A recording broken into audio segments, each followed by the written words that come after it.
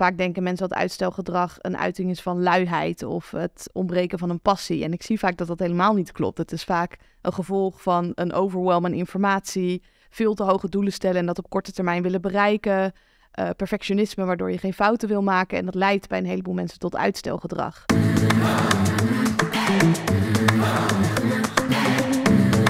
Isabel Veteres, welkom bij de Food podcast. Het is leuk dat je hier bent. Um, Jij omschrijft jezelf als mindset coach, als ik het goed heb, hè? Ja, klopt. Uh, en dat is natuurlijk best wel een breed begrip. Uh, heb je dan iets waar je je specifiek op focust? Ja, zeker. Ik zorg er eigenlijk voor dat de mensen die een plan hebben, dat ze het daadwerkelijk gaan uitvoeren. Dus niet alleen maar praten over mindset, maar vooral doen en uh, zo ook resultaten behalen. Dus dat is mijn focus om bij mensen te bereiken. Ja. ja, want we hadden het net al even kort over, over je boek. En dat is stoppen met uitstellen. Ja. Ehm, waarom heb je precies dat uitstellen gekozen, om daar de focus op te leggen? Ja, omdat er heel veel overtuigingen zijn over uitstelgedrag die niet kloppen. Vaak denken mensen dat uitstelgedrag een uiting is van luiheid of het ontbreken van een passie. En ik zie vaak dat dat helemaal niet klopt. Het is vaak een gevolg van een overwhelm aan informatie, veel te hoge doelen stellen en dat op korte termijn willen bereiken, uh, perfectionisme waardoor je geen fouten wil maken. En dat leidt bij een heleboel mensen tot uitstelgedrag. Een heleboel mensen die weten wel wat ze moeten doen, maar ze doen het niet. En we leven ook in een maatschappij waarin informatie in overvloed is. Vroeger was dat niet zo, dan betaalde je heel veel geld om een programmaatje te volgen. Of dan kreeg je het zelfs op cd'tjes of uh, dvd'tjes. Ja, vandaag de dag hoef je maar te googlen en dan kan je overal gratis e-boeken downloaden en programma's volgen. Dus ik zie dat mensen dat dan gaan bingen, waardoor ze niet in actie komen. En dat leidt weer tot een heleboel frustratie bij mensen, want dan weet je het wel, maar dan doe je het ook nog eens niet. Dan kan je het bijna beter niet weten.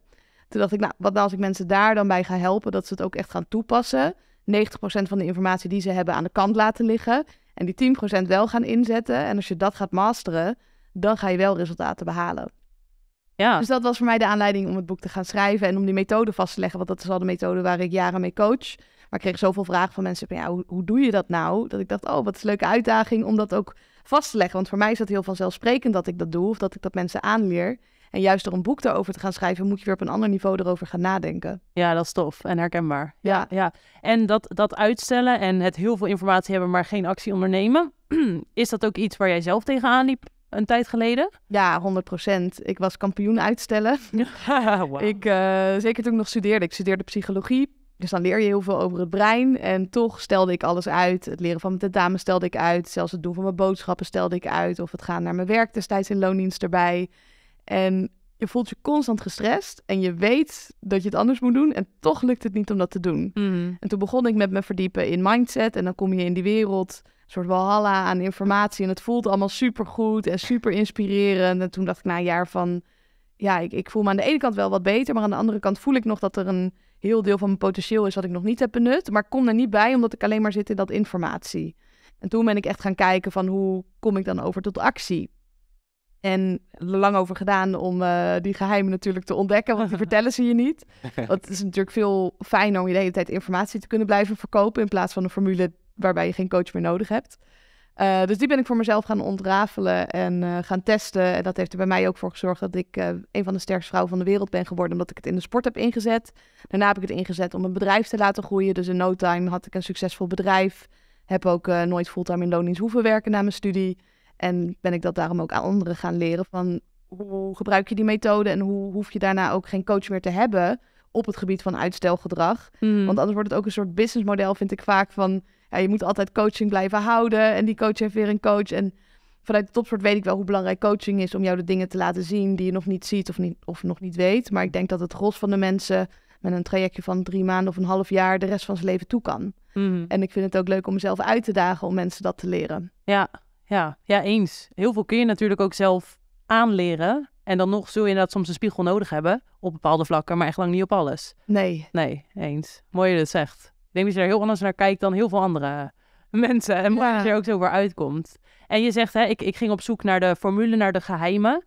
Was er een moment dat jij zoiets had van, hey, dit is de eerste stap of de eerste keer dat ik merk dat ik van vooral informatie echt naar actie ga? Ja, dat begon bij mij wel echt toen ik een plan ging maken. Dus ik had een heleboel goede ideeën in mijn hoofd. En ik dacht ook dat ik 200% moest geven. En alles op basis van motivatie moest doen. En discipline en wilskracht. En toen ben ik het wat kleiner gaan maken voor mezelf. Want we overschatten vaak wat we op korte termijn kunnen bereiken. En we onderschatten wat we op lange termijn kunnen bereiken. Dus ik ging gewoon eens voor mezelf uitschrijven wat kan ik nou op wekelijkse basis doen om 1% beter te worden.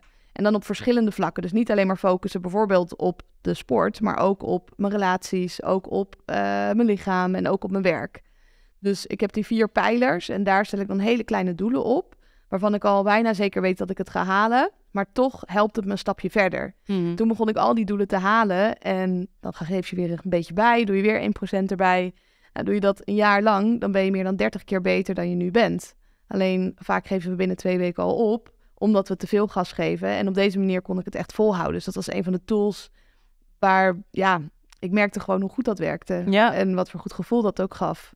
Ja. Ja, precies. Ja, want in die eerste twee weken leun je dus natuurlijk op die motivatie. Ja. En als dat wegvalt, ja, dan zit je met een probleem. En dat is natuurlijk waarom je de eerste twee weken dan succesvol bent, maar dat het daarna instort. Ja, en niet altijd succesvol. Je kan alsnog heel hard je best doen. Ja, En dan hè, bijvoorbeeld op het gebied van voeding besluiten we maandag, oh, we gaan beginnen. Ik ga alleen nog maar gezond eten. Nou, maandag lukt, dinsdag lukt.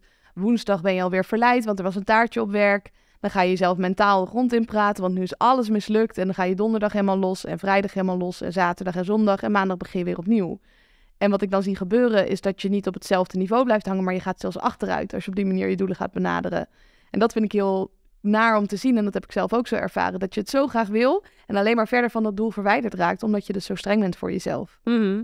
En ik vind die 1% die je aan het heel mooi. Daar staan wij ook altijd voor, van stapje voor stapje. Dat is ook heel grappig, want ehm, in onze app kun je eh, challenges aangaan. En de eerste vraag die mensen altijd hebben is, kan ik er meerdere tegelijk doen? Ja. ik wil alle, ik wil ze allemaal. Ja, ik Ja, heb dat ook met coaching. Ik wil alles eruit halen wat erin zit. Dus wat gaat het beste moment zijn om te beginnen? En dan Ja. zeg ik altijd, ja, gisteren. Ja, ja, ja. Oh ja, oh ja. Ja. Want je gaat er nooit alles uithalen wat erin zit. Nee. Je haalt alles eruit wat er voor jou in zit. En dan heb ik liever dat je doorgaat. Dus dat je inderdaad één challenge doet of 1% pakt dan 100%. En een belangrijke aanvulling is denk ik ook nog wel dat mijn methode is om op alle pijlers te focussen. Mhm. Dus als je alleen maar hè? tegelijkertijd oké. want we focussen vaak dan op één ding, maar dan verliezen we weer de rest. Dus als je Mm. alleen maar gaat focussen op je bedrijf en je gaat 80 uur per week werken en je draait fantastische omzetten, maar ondertussen gaat je relatie eraan, gaat je gezondheid eraan. Vroeg of laat gaat dan ook je bedrijf eraan. Ja, eens. Dus al die pijlers zijn wel belangrijk en daarom is het ook zo belangrijk om hele kleine stapjes te zetten erin, want dan hou je het ook allemaal vol en dan ga je ook je level structureel verhogen in plaats van dat je één niveau verhoogt en uit balans raakt. Ja, ja 100% mee eens. En als je dan hè, ziet, je, je bent op een bepaald punt begonnen. Toen dacht je, hé, hey, ik wil tot actie overkomen. Ehm, ben je toen direct ook op alle vlakken het gaan inzetten? Ja. Zeker. Vanaf het begin heb je dat zo gedaan. Ja, maar ik moest mezelf ook echt wel afremmen. En we Mhm. denken vaak dat we aangemo- aangemoedigd moeten worden door een coach. Ik denk dat we vooral afgeremd moeten worden. Dus je moet wel dat setje hebben om in actie te komen. Maar daarna moeten we afgeremd worden dat we niet die 200% willen geven. Dat ik dan denk, oh, ik eh, kan bijvoorbeeld eh 10 kilo meer tillen. Nou, dan doe ik ook wel 20 of 30 en dan raak je overbelast. Ja, Dus het is zo'n een fine line waar je op moet balanceren. ja, ja, cool. Dus Ja. liever iets te weinig doen en dan denken, ik, ik, het kost me geen moeite. Dan dat je te veel doet en moet hustelen en het klinkt heel stoer, maar eigenlijk is het helemaal niks waard. Nee, en dat is ook met het, het kost geen moeite. Het kost één keer misschien geen moeite. Maar doe het maar eens op dagelijkse basis, weet je wel. Dan ineens wordt het ingewikkelder. Die, die... Ja, en waarom moet het altijd moeite kosten om iets te bereiken? Dat is ook een Precies. overtuiging zoals ik het zie. Ik heb voor mijn gevoel moeiteloos mijn topsportcarrière beoefend. En Ja. moeiteloos ben ik gaan ondernemen. Dat betekent niet dat ik geen tegenslagen heb gehad. Maar omdat ik die kleine stapjes zet, blijf ik er lol in houden. En ja, bereik je meer dan wanneer je onderweg geblesseerd gaat raken. Ja, En, en nu snap ik het helemaal in- in, in de happy flow. Hè? Dus je stelt hele kleine stapjes en, en die behaal je allemaal. Maar ik kan me ook voorstellen dat heel veel mensen dan zoiets hebben van... oké, ik bepaal dat kleine stapje, maar toch lukt het me dan niet. Wat is dan het advies wat je dan geeft eh, aan die mensen? Ja, dat is vaak waar de coaching begint. Hè? Dus Ja. dan word ik excited als eh, mensen een doel met mij hebben bepaald. Ik Ja. eh, werk altijd op basis van tien doelen. Meer ook niet, want dan ga je het vergeten. En dat zijn dan tien doelen in die, verschillende kleine categorieën dan. In de vier pijlers die je net ook aanhaalt. Exact. En ik heb bijna altijd wel dat mensen minimaal één doel niet halen. Ja. En dan is het interessant om te kijken van wat zit daarachter. Dus stel dat je een doel hebt gesteld om elke dag twee minuten niks te doen. Nou, het moet heel haalbaar zijn en toch doe je dat niet. Maar waarschijnlijk zit er dan een overtuiging achter. Dus misschien heb jij jezelf al verteld dat je hard moet werken voor succes. Of dat je als je rust neemt dat je ook rustig moet voelen. Terwijl in die twee minuten ga je waarschijnlijk helemaal niet rustig voelen. Of eh, nou ja, welke Hmm. verhalen je jezelf maar allemaal vertelt. Dus dan gaat het over het mentale stuk. Nou, heb je dat mentale stuk opgelost, dan gaat het weer over een diepere laag. Het laag van, van je gevoelens en je emoties. Dus juist ook doordat er dingen niet lukken, maar er is iemand bij, kun je gaan corrigeren en gaan kijken van wat is de echte oorzaak. Dus als je dat zou vergelijken met topsport, het werkt niet om elke keer tegen een voetballer te zeggen, oh je moet nog harder scoren en nog harder scoren. Als er een oorzaak is waarom dat scoren niet lukt. Kijk, Mm. tegen, in een deel van de gevallen werkt het wel om die feedback te geven. Maar mijn coach die zei altijd tegen mij op de wedstrijden, je moet goed staan. Maar dan stond ik ook goed. En dan dacht ik, ja, wat wil je nou? Of als ik niet goed stond, dat ik denk, ja, maar wat, wa- wa- hoe moet ik het anders doen? Ja. Dus dat is waar coaching begint in mijn optiek. Niet alleen maar door te zeggen wat iemand moet doen, maar ook om te kijken van wat maakt nou dat het niet lukt.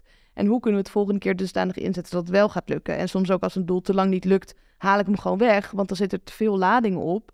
Dan denk je, ja, hij is de afgelopen twee weken ook niet gelukt. Dus hij gaat nu ook niet meer lukken. En weg ermee, ander doel stellen en misschien over een maand weer herintroduceren. Ja, oké. Misschien was het dan toch geen 1% doel als het niet is gelukt. Precies. Dan dacht je wel, dit is heel makkelijk. Maar toch blijkt het niet zo te zijn. Ja. Hmm. Ja. Ja, dat is vaak zo, ja. Dat je denkt van, oh, dit, dit doe ik wel even. af. Ja. ja. Ik kan best wel een uur per week eh me-time hebben. Ja. En ik zie dat veel mensen dat toch moeilijk vinden. Dus dan stellen we hem wat bij door bijvoorbeeld een kwartiertje te doen.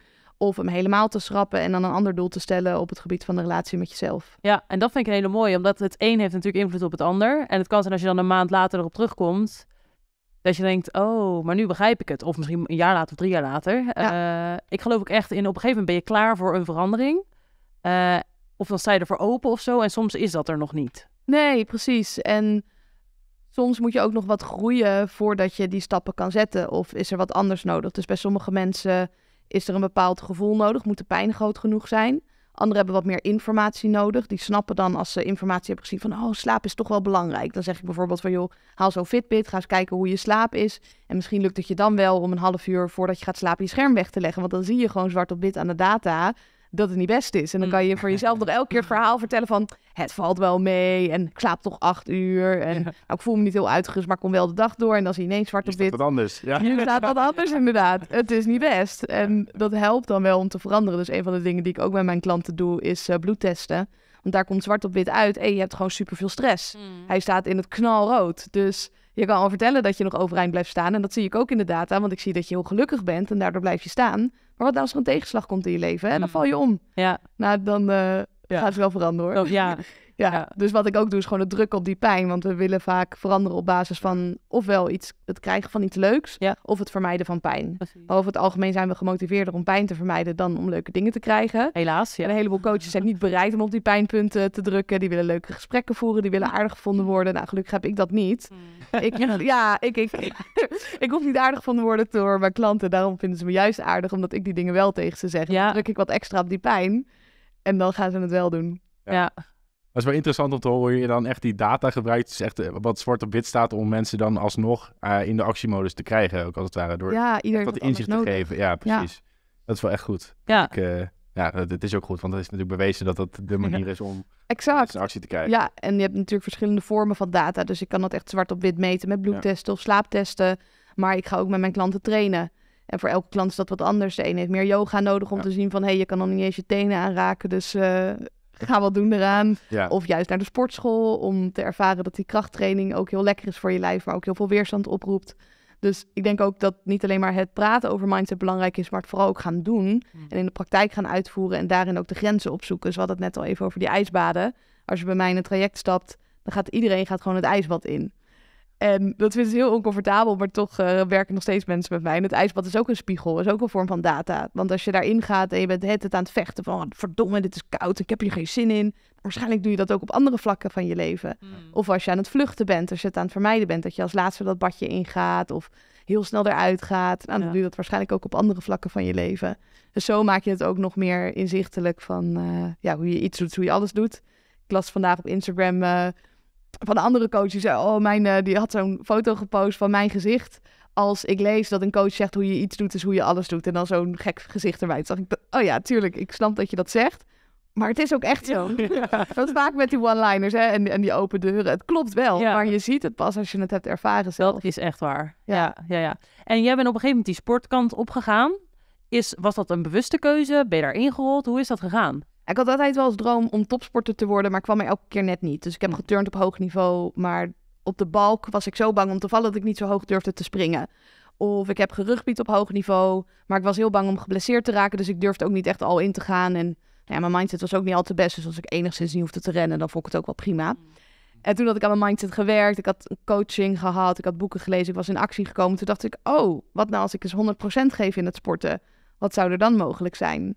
En ik had al wat wedstrijdjes in powerliften gedaan. Meer doordat anderen me hadden aangemoedigd dan dat ik dat echt wilde. Want ik had overtuigingen dat mijn spierballen te groot zouden worden. Of dat ik blessures zou krijgen. En dat viel eigenlijk wel mee. Toen dacht ik, wat nou als ik hier echt voor ga? Want ik zag dat het mogelijk was voor mij om naar het wereldkampioenschap te gaan. Het Europees kampioenschap. En toen ben ik daar serieus voor gaan trainen. Toen kwalificeerde ik ook. Toen dacht ik, oh, dit is cool. Ik ga mijn doelen wel bijstellen naar boven. Misschien kan ik daar wel een medaille winnen. En toen won ik uiteindelijk vijf medailles, waaronder een gouden. Toen dacht ik, wow, dit is vet. maar tegelijkertijd zag ik dat een heleboel meiden daar ook aan het huilen waren. En niet van verdriet, uh, of niet van blijdschap zoals ik, maar van verdriet. Mm. Want ze hadden verwacht dat ze zouden winnen, maar ze, ze wonnen niet. Mm. Dus we denken vaak dat een topsportmentaliteit is de wil om te winnen en doorgaan ondanks alles. Nou, zo zie ik dat helemaal niet. Ik zie dat juist als het genieten van het proces, balans houden met je rust en daardoor topprestaties kunnen leveren, want je bent niet gehecht aan het resultaat. Want ik kwam daar met de bereidheid om te verliezen en dat is waarom ik won. Hm. En vanuit daar dacht ik, oké, ik kan er wel nog een jaar topsport doen of nog een jaar of nog een jaar, maar wat bereik ik daarmee? het is leuk dat ik hier op een podium sta en iedereen staat naar mij te kijken, maar het is alleen maar inspiratie. Hè? Dat gaat weer over die actie. Ik breng mensen niet in actie.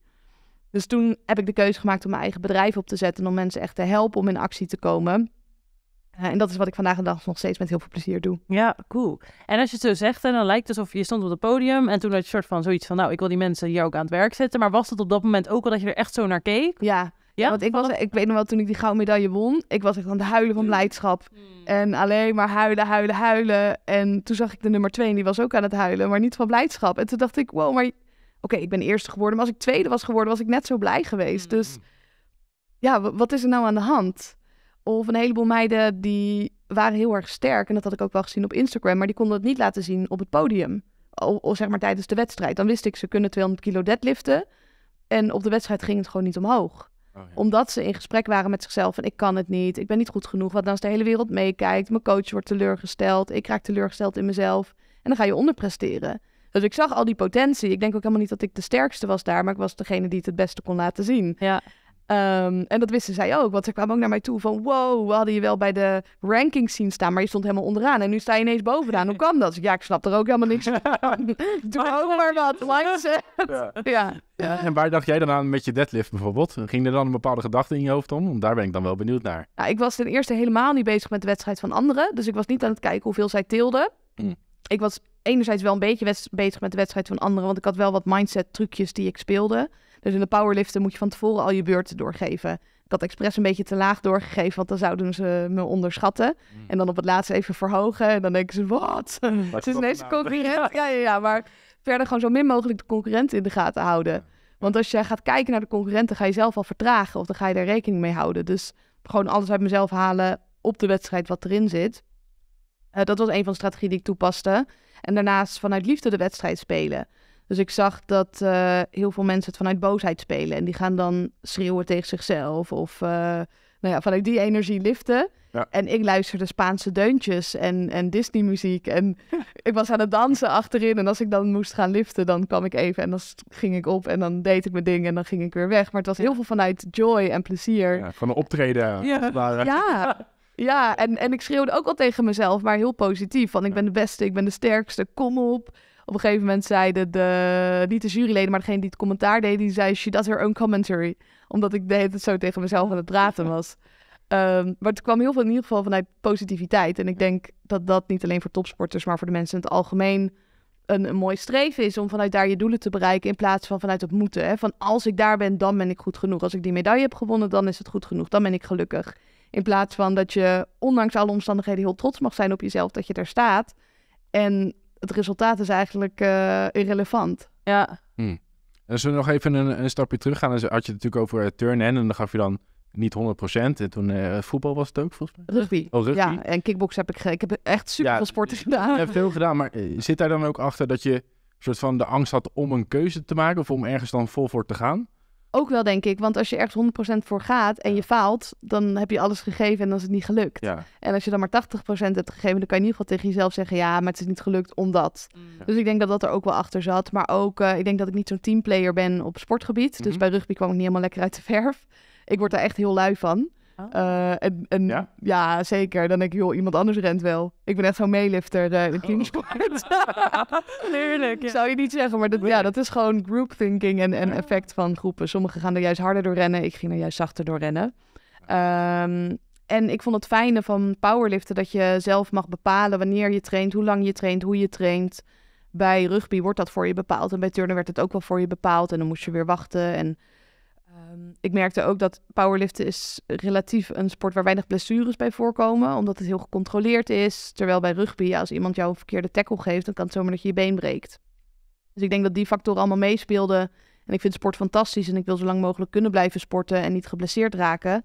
Dus liever in die andere sporten neem ik wat gas terug. Ja. Ehm, zodat ik in ieder geval kan blijven trainen. Dus ik denk dat dat ook wel heeft meegespeeld. Ja. Ik ben bijvoorbeeld met kickboksen ook gestopt omdat ik een aantal hersenschuddingen had. En dacht, ja, dit is me gewoon niet waard. Mhm. Om de rest van mijn leven dan schade te hebben, om bloemkoortjes te hebben, omdat ik zo nodig topprestaties moet leveren. Dus ik denk dat het ook wel een goede les is voor de luisteraar. Van ik maak altijd eh, een afgewogen risico. Hè? Wat is het potentiële resultaat? Maar wat gaat het me ook kosten?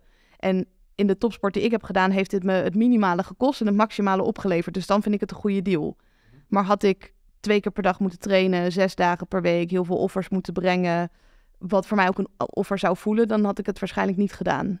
Mm.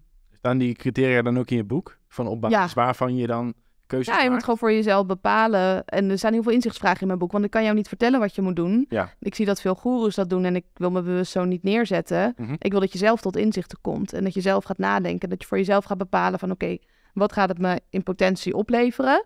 Wat gaat het me in potentie kosten? En kan ik het risico ook dragen daarvan? Dus stel je gaat investeren. En je gaat investeren in crypto. Nou, we weten allemaal hoe de markt er momenteel uitziet. Ehm, maar stel je hebt 5000 euro en je wil het in crypto gaan stoppen. Nou, de potentie is misschien dat het keer 10 gaat. Maar de potentie is ook dat je alles kan gaan verliezen. Kan je dat dragen? Dat risico? Is het geleend geld? Moet je het ooit nog terugbetalen? Is het je belastinggeld? Of is het geld wat je hebt verdiend, wat je anders op de bankrekening zou laten staan, wat je letterlijk niet uitmaakt als je dat allemaal zou verliezen? Dat moet je allemaal voor jezelf bepalen. En dat kan ik niet voor iemand bepalen. Dus je moet bij jezelf ook nagaan, wat is mijn risicoprofiel? Wat ben ik ook bereid om te verliezen? Wat ben ik bereid om te winnen? En past dat erbij? Dus de ene die zal investeren in crypto en de ander zal helemaal niet investeren. Of de ander weer in aandelen. Ja. Ja. En zo zie ik dat ook op het ondernemerschap of op de sport of eh, op relatievlak. Hè, Ben je bijvoorbeeld bereid om je relatie te verbreken op het moment dat het de zes is en dan blijft de zes. Met het vertrouwen dat er iets is wat beter bij je past.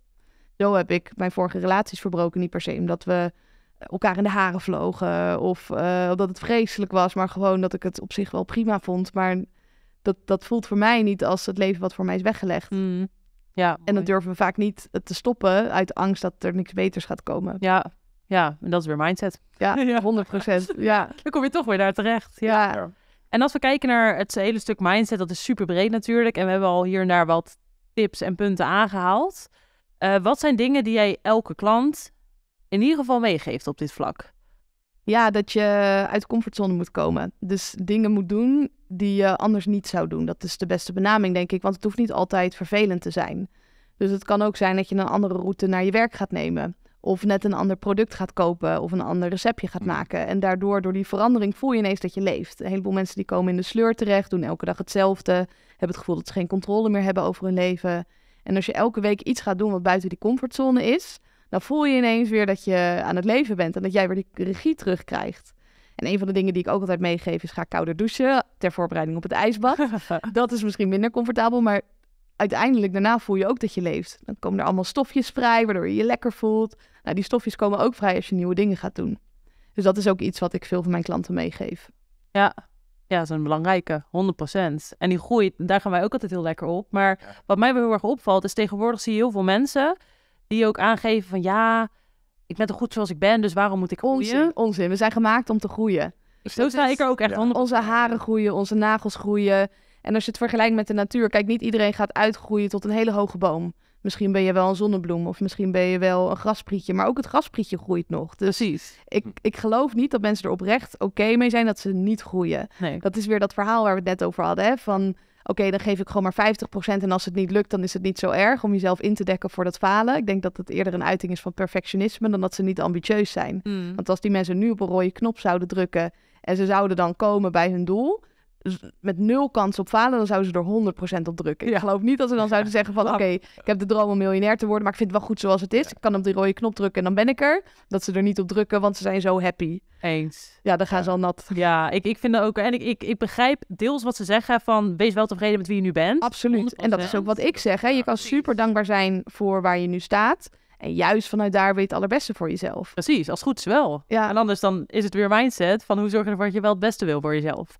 Exact. Ja, dat is ook te verklaren omdat we natuurlijk wel als basisberoepte willen we de zekerheid. Dus we willen ons comfortabel voelen. Dus dat is dan ook een, een plek waar heel veel mensen ook blijven. Van als alles comfortabel is, dan zie ik geen reden om te veranderen. En, dat, Ja, het is vooral vanwege de risico's die ze Ja. niet bereid zijn om te nemen. Want Ja. ik ben nu comfortabel. Hè. Ik heb bijvoorbeeld eh, mijn hypotheek die ik maandelijks moet afbetalen. Dat kan door middel van mijn baan. Ik heb een partner die op zich wel oké is. Ehm, ja, en als ik daaraan ga rammelen, misschien valt dan wel een van die dingen om. En ben ik bereid om een van die dingen om te laten vallen, heb ik ook het vertrouwen in mezelf dat ik dat weer op kan bouwen voordat ik de volgende stap zet. Want ik heb ook in die situatie gezeten. Ik had eh, samen met mijn eh, ex-partner eh, hadden we een woning. We hadden een hondje samen. En toch heb ik besloten om de relatie te verbreken, omdat het op zich wel oké was. Ja. En mensen snappen daar helemaal niks van. Ik snap het wel. Ja, en nu heb ik een fantastische relatie en ben ik elke dag nog mega gelukkig en dankbaar dat ik die keuzes heb gemaakt, omdat ik anders nooit op dit punt had gestaan. Ja. Maar eh, tenminste, als ik het alleen al hoor van ja, ja het is oké. of ik heb een fantastische relatie. Gewoon dat verschil. Da- Ja, Dat wil je. Ja. ja. maar heel veel mensen settelen wel voor oké. En dat is Ja. ook de reden dat heel veel mensen vallen af en dan komen ze weer aan, want ze vallen net af tot het punt dat het oké is en dan vallen ze weer terug in oude patronen. Dus daarom denk ik ook dat het zo belangrijk is om te gaan voor die 9 of die 10. Kijk, het is makkelijker om van een 4 naar een 6 te gaan dan van een 9 naar een 10. Mhm. Maar aan de andere kant is het veel duurzamer om op die 10 te zitten dan op die 6. Want stel dat er een tegenslag is en je zit op die 6, dan schiet je meteen naar het rood, naar die onvoldoende en dan zakt dat af. Terwijl als je op die 10 zit of op die 9 en er is dus een tegenslag, dan heb je wel ruimte om dat te incasseren. En dan even iets heel anders. Want dit, dit gaat heel erg over, nou ja, inderdaad, die 9 en de 10 en hoog en, en presteren en goed voelen. Ehm, ik denk dat, dat heel veel kijkers en luisteraars nu zoiets hebben, oké, maar ik heb gewoon echt veel tegenslagen. Dat heeft iedereen. Maar zo denk je dan misschien, hè? Ja. Weet je, in die slachtofferrol. Kan ik helaas over meepraten? Ja, Ja, maar, maar op de momenten dat jij dat ervaart, want we, ervaren, we hebben allemaal tegenslagen. natuurlijk. Wat, hoe pak jij dat aan? Want ik denk dat dat voor heel veel kijkers en luisteraars super interessant is. Ja, en als je het hebt over succes, dan heb je het over licht. En er kan maar zoveel licht zijn als dat er donker is. Mm. En dat donker moet je helemaal aan kunnen kijken. Op het moment dat je dat gaat ontkennen, dat je dat wil verdoven, dan wordt je licht ook minder. En dat is precies waar ik in het verleden tegenaan ben gelopen. Dus ik denk op het moment dat je een tegenslag hebt, dat je dat ook helemaal mag ervaren en helemaal mag doorvoelen en daarvan mag balen en boos zijn en verdrietig zijn en nou ja, whatever you want to do, eh, do it. Eh, en daardoor kan je juist doorgaan. Ik heb eh, zelf helaas mijn moeder verloren een aantal jaren geleden. En ik zag ook in mijn omgeving hoe mensen daarmee omgingen. Ofwel door nog harder te werken. Of door je verdriet weg te drinken en laten gaan slapen en meer te gaan roken en de hele dag op bed te liggen. En al die manieren zijn een uiting van onderdrukking. In plaats van dat je dat gevoel voor jezelf mag aankijken, er hulp bij vraagt. Ik heb natuurlijk zelf er ook hulp bij gezocht bij het verwerken ervan. Eh, ruimte ervoor nemen, voor stilte, voor niks doen, voor erover praten met andere mensen. En vanuit daar kan je weer door. In plaats van dat je blijft hangen in die tegenslag. Want die tegenslagen gaan er komen. We gaan mensen verliezen. Er gaan dingen mislukken. Misschien ga je ontslagen worden. Misschien ga je relatie nog wel verbreken. Of whatever er gaat gebeuren. Ehm, en het gaat heel erg over het oké zijn met het donker. Met die negatieve emoties. Ja. Dus, dus wat jij daarin doet, is dat gewoon keihard aankijken. Juist, want Mhm. kijk, je hebt gevoelens. En als je die gevoelens niet ziet of niet aankijkt, ga je daarmee identificeren. Dus stel je voelt je eenzaam en je denkt, oh dat eenzame gevoel, dat, dat wil ik niet hebben. Ga je identificeren met dat gevoel. Dan denk je, ik ben eenzaam. Maar je bent niet eenzaam, je voelt je zo. Of Mm. je denkt, oh ik voel me verdrietig. Dan denk je, ik ben verdrietig. En dan ga je verdrietig door het leven. Mhm. In plaats van dat je dat ziet als een gevoel van het is er even, het gaat ook weer weg, maar het mag er helemaal zijn. Je bent welkom. Ehm, dat dat de manier is juist om ermee om te gaan. Ja. En ook, dat is, weet ik ook doordat ik heel veel tegenslagen heb meegemaakt, dat ik weet dat uiteindelijk dat ik daar heel veel kracht uit ga halen en dat ik niet precies weet wat ik daaruit ga halen. Ja, op dat moment zelf weet je. Op het moment geen idee. Maar ik weet, ja. over een jaar kijk ik terug op dit moment Ja. en ben ik heel blij dat het is gebeurd. Mhm. En dat heb ik met alle tegenslagen in mijn leven gehad. Ja. En is het mooi. is op het moment heel naar en dan ben ik ook heel verdrietig. Maar ik denk juist omdat dat verdriet er mag zijn, is het ook weer een heel mooi moment. Dat Mm. ik denk, oh, ik kan lekker even verdrinken in mijn eigen verdriet. En dan kan ik ook wel weer lachen om mezelf. Omdat ik dat niet veroordeel dat ik verdrietig ben. Maar dat ik ook weet van, ik ben zo excited nu eigenlijk al over waar ik over een jaar sta. Want ik weet gewoon dat er nu allemaal shifts gaande zijn. Want ik moet wel andere keuzes maken. Want dit gevoel is zo naar, dat wil ik niet meer. Ja, ik denk dat dat ook een hele mooie soort opdracht is waar je direct mee aan de slag kan. Is terugkijken naar uitdagingen die je hebt gehad als persoon. En wat heb je daaruit gehaald? Dat Ja. je ook ziet, elke uitdaging geeft een les. Ja, Ja. ik heb geen enkel moment in mijn leven gehad waarop ik iets supergoeds had bereikt. Wat dus niet voorafgaand ging aan een tegenslag. precies. Ja. Dus het is bijna ook geruststellend, kan je snel zeggen. Ja, Als je iets meemaakt van, oh, ik weet wel dat het uiteindelijk tot iets leidt. ik heb ook een eigen podcast en heel veel Ja. succesvolle mensen geïnterviewd. En ze hebben allemaal echt een flinke tegenslag Ja. gehad. Ja. En dat zie je ook bij beroemde mensen. Kijk naar 50 Cent, die dan eh, in een achterstandswijk woonde. Ook eh, belangrijke mensen had verloren. En ik denk juist daardoor weerbaar is geworden en zo succesvol is geworden. Dus die weerbaarheid, die train je ook door tegenslagen. En door daar bovenop te komen. Wil niet zeggen dat iedereen er bovenop komt. Of dat je die tegenslagen moet opzoeken Ja. om succes te krijgen. Maar dat je het wel mag verwelkomen als het gebeurt. Ja. En het niet moet gaan vermijden, want het gaat hoe dan ook gebeuren. Het leven is lijden. Uh, maar liever dan het, het lijden wat je zelf kiest, dan dat je het gevoel hebt dat het je allemaal overkomt. ja. Hm. Je zegt het super mooi. Ja. ik wil nog even terugpakken op eh, wat je zei over die... Ik ga dan altijd samen tien doelen opstellen, ongeveer tien doelen. Ja. Eh, koppel je er dan ook een bepaalde tijdslijn aan vast? Of hoe gaat dat precies? Ja, goede vraag. Uh, ik koppel er ook een bepaalde structuur aan vast. Dat is ook wel belangrijk om te vertellen. In het begin focus ik altijd meer op uh, je lijf en meer op je mindset. En iets minder op je relaties en uh, businessdoelen. Dus dat is ofwel eigen bedrijf of uh, loondienst.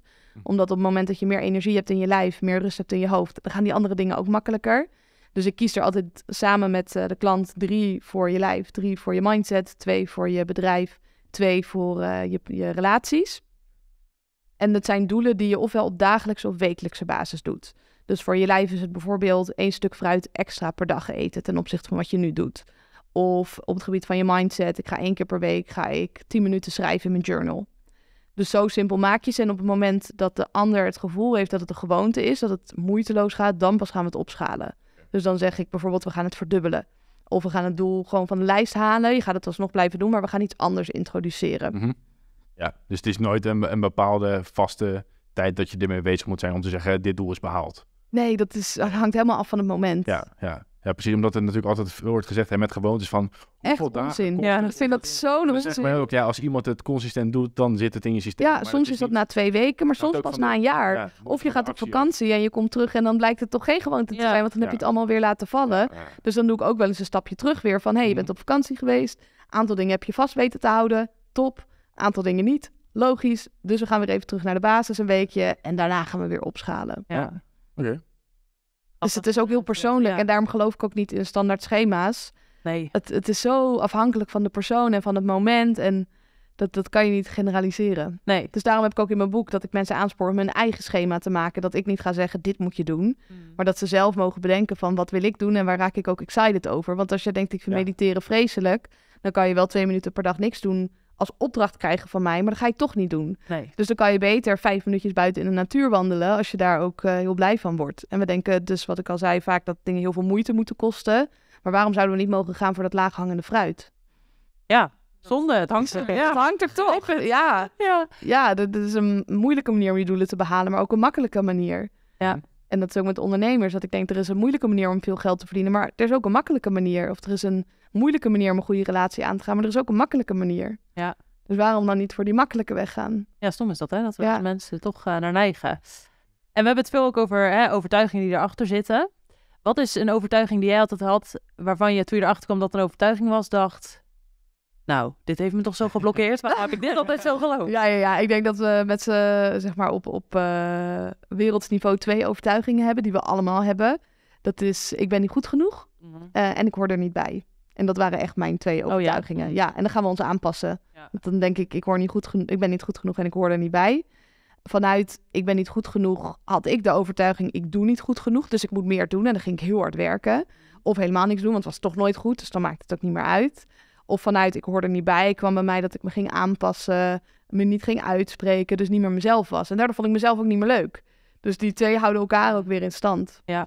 Ja. Wat was dan voor jou het punt dat je daar inzicht in kreeg? Mm. Goeie vraag. Ik denk vooral toen ik mijn eetstoornis had. Mhm. Eh, ik heb een hele ernstige eetstoornis gehad waarbij ik op het randje was van de dood. En iedereen in mijn omgeving die zei, heb jij dat gekregen? Dat had ik achter jou helemaal nooit gezocht. Je bent zo zelfverzekerde vrouw, je doet het allemaal goed. Dat ik dacht, oh ja, mensen zien mij heel anders dan dat ik mezelf zie. Er is een mismatch. Ja, ja. Volgens mij moet ik hier aan gaan werken. Dus toen ben ik elke dag eh, vijf dingen gaan opschrijven waar ik trots op was. Ik had een eigen motivatieboekje gemaakt. En ben vooral meer gaan focussen op de binnenkant in plaats van de buitenkant. Want ik deed al die dingen aan de buitenkant. Ik was toen ook al, eh, ik deed turn op hoog niveau. Ik zat op het gymnasium. Ik had leuke vrienden. Ik leek het allemaal te hebben en toch was het niet goed genoeg. Ja. Dus toen dacht ik, ja, ik kan wel allemaal dingen in die externe wereld gaan krijgen. Maar het gaat nooit bijdragen aan hoe ik me van binnen voel. Als ik elke keer dat verhaal maar vertel van, ik ben het niet waard, ik ben niet goed genoeg. Strakjes dan is het allemaal weg. Dus toen ben ik meer op die binnenkant gaan focussen. En dat is een veel steviger fundament, denk ik ook, dan eh, die externe wereld. Ja, mooi. Ja. Prachtig. Een prachtig verhaal. Ja, nee, echt. Is er nog iets waarvan jij zegt, ehm, dit wil ik hè, de kijkers en luisteraars meegeven? Je hebt al veel meegegeven, maar misschien nog iets dat je zegt, dit moet iedereen weten. Nee, ik denk vooral uh, ga stoppen met dingen weten. Ja, Uh, ik wil niet jullie luisteraars is- onttrekken, maar Ja. uh, ga minder focussen op informatie. Ja, Uh, 10% is maar informatie, 20% is interactie en 70% actie. Ja. Dus het klinkt allemaal heel tof, hè? Mensen die zeggen, ik luister elke dag een podcast en ik lees een boek per week. Ja, bullshit. Wat doe je daarmee? Wat doe je ermee? Ja, waarschijnlijk helemaal niks. Ja. Dus ik ben een groot fan van het eh, IF-dieet. Ik heet zelf ook Isabelle Viteris, maar dit is het. Oh, ja. Waarbij je dus minder informatie gaat opdoen. Want informatie kan ook een manier zijn om die gevoelens dus te onderdrukken. ja. Dus stop maar eens met het opdoen van al die informatie. Ga maar eens een weekje even geen podcast te luisteren. En met jezelf zitten. En al die tijd die je nu bespaart, gebruiken om over je doelen na te denken. Een plan te maken, je plan uit te voeren. En vanuit daar te kijken welke informatie mis ik. En die ga je opzoeken. In plaats van dat je informatie gaat consumeren om het consumeren. ja. Dus dat is wat ik de luisteraars wil meegeven. Minder focus op informatie. Je weet het wel. Je mag vertrouwen op jezelf. Ga het maar gewoon doen. ja. Een hele mooie. Ja. Lijkt wel alsof wij aan het woord zijn ook.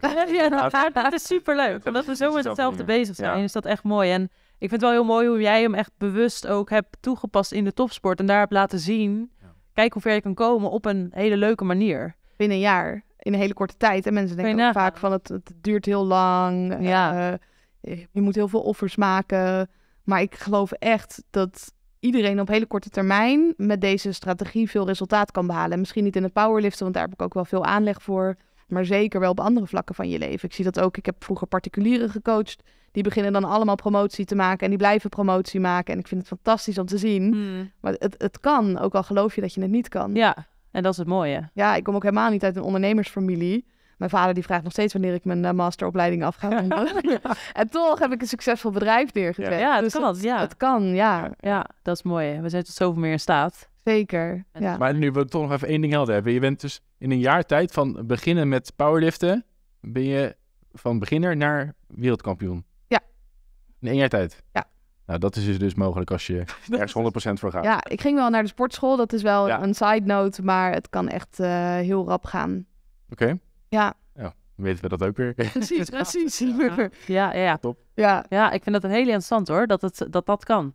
Ja. Ja, maar dan heb je het wel over een jaar. En vaak denken mensen met doelen in termen van twee weken of een maand. En daar zijn ook heel veel marketingcampagnes op gebaseerd. Hè? Ik help jou om 12 kilo te verliezen in eh 12 weken. Of ik ga jou eh, leren hoe je een succesvol bedrijf bouwt in twee maanden. Of hoe je een goede relatie krijgt in twee weken. Ja, ik geloof daar dus niet zo in. Nee.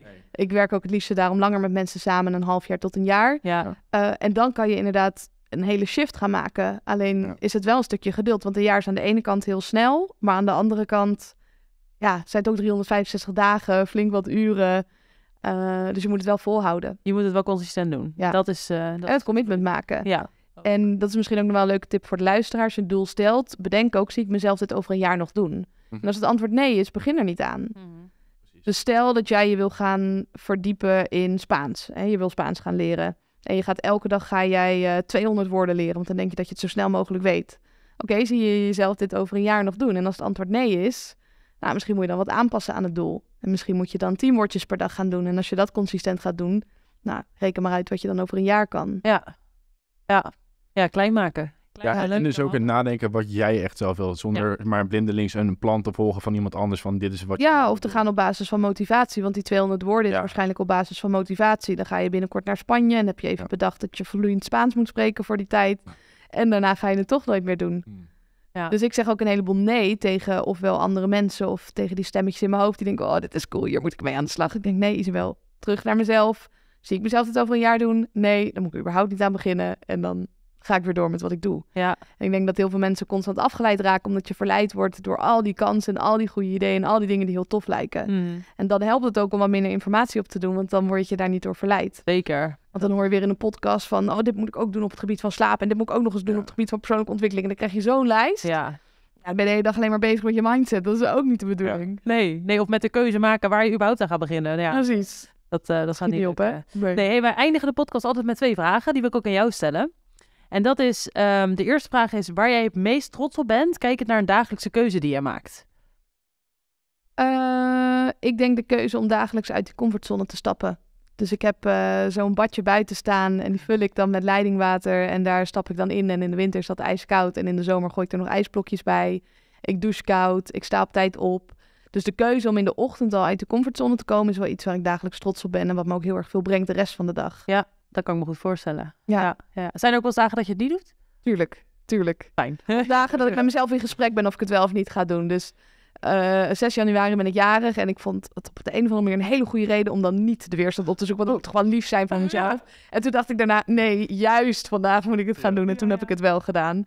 Maar ook ik ga op vakantie. Ook ik eh, trap wel eens in die excuses. Alleen omdat ik daar heel bewust van ben en geen oordeel op heb, ga ik de dag daarna ga ik het weer doen. Of misschien in de middag al dat ik denk, verdomme, ik heb mezelf weer voor de gek gehouden. Dan ga ik nu onder die koude douche staan. Dat is het leuke van die bewustwording. Ja, Ja. als je gewoon vanaf een afstandje naar kan kijken. En vooral, dat doe jij ook Vanuit liefde. lachen. Gewoon, het is, ja, lach erom. En niet jezelf uitlachen, maar gewoon meer van, ik neem het niet te serieus. Nee, gewoon ha, ook heb het weer gedaan. Ik ben er weer Ja, ingetrapt. precies, ja. Oké, en een andere vraag is op welke dagelijkse keuze jij nog minst trots bent?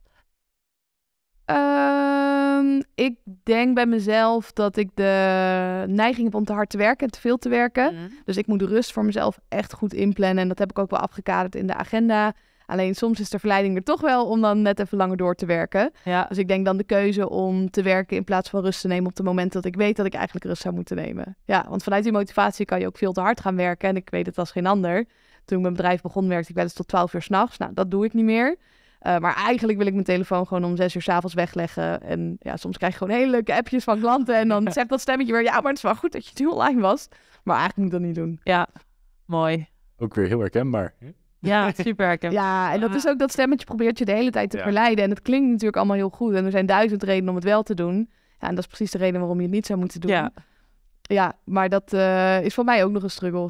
zeker. Nou ja, altijd fijn. Struggles, toch? Dan kunnen we weer groeien. Ja, Ja, precies. top. Nou, echt super bedankt voor je interessante verhaal, je tips, je openheid. Ik vond het echt een, eh, een heel mooi gesprek. Jij ook? Ja, zeker. Echt, gewoon lekker snel, lekker actiegericht. Ja. En eh, precies wat we mensen ook willen meegeven. Dus eh, echt, dankjewel. Leuk, Ja. dankjewel voor de uitnodiging. Nog één laatste vraag. Waar kunnen mensen jou vinden? Ja, je kan me sowieso vinden via Instagram, Isabelle Veteris, of mijn website isabelleveteris.com.